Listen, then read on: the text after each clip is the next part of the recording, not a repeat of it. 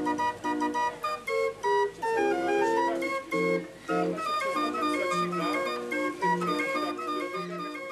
Z przyjemnością wracam do Kielc, ponieważ to jest moja mała ojczyzna. Skończyłem e, liceum e, Jana Śniadeckiego, drugie LO w Kielcach.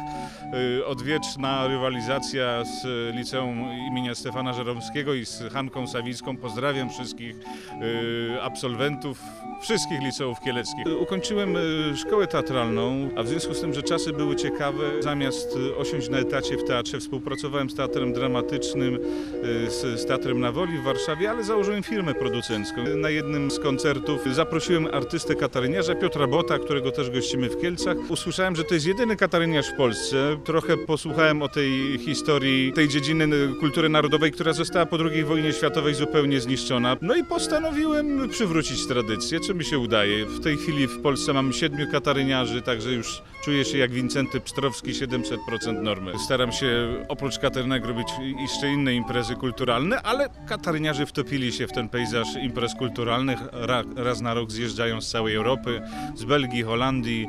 Już Szwecja się upowina o przyjazd do Kielc, także w przyszłym roku będziemy gościli również kataryniarzy ze Skandynawii. Także festiwal się rozwija. To jest szósty, który jest organizowany w Kielcach. No, jest to jedna z najdłużej y, działających y, imprez, y, jeśli chodzi o festiwale kataryniarzy w Polsce. Będę chciał zorganizować autonomiczny festiwal, także będą i artyści ulicy, teatry, klauni, szczudlarze, więc już się nie mogę doczekać i już trzeba będzie zacząć organizację. Należę do takiego Europejskiego Stowarzyszenia Kataryniarzy. Raz na rok minimum, a, a zdarza się, że częściej jeździmy do Niemiec. Przyjeżdża kilkuset kataryniarzy z całej Europy, także przepiękne widowisko, całe rodziny, różne kataryny, różnie grające, fantastyczne spotkania artystów z całej Europy. Muszę wspomnieć o takim największym przedsięwzięciu, które udało mi się zorganizować, czyli koncert w Watykanie dla Ojca Świętego.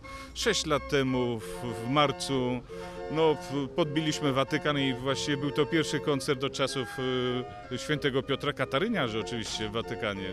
Katarynki to instrumenty mechaniczne, więc pierwsze z nich powstały około 500 lat temu.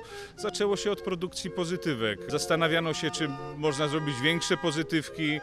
Te większe pozytywki później nazwano katarynkami, zupełnie były inne mechanizmy uzyskiwania dźwięków, czyli początkowo walce drewniane, na które nabijano metalowe sztyfty, później, czyli w XIX wieku, a właściwie na początku XX wieku taśmy perforowane, a teraz są już też instrumenty elektroniczne, więc no, ten XXI wiek wchodzi też do tej dziedziny kultury.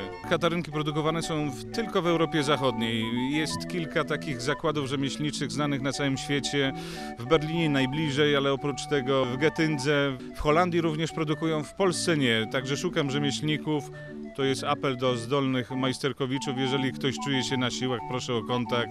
Chciałbym, żeby w Polsce zaczęły powstawać katarynki i wtedy myślę, że tych kataryniarzy będzie jeszcze więcej. Wiele skarbonek trzeba rozbić, yy, żeby kupić te małe. Czasami to jest przelicznik taki, że te małe instrumenty to mały samochód, duże to duży samochód, także rzeczywiście są to kosztowne instrumenty.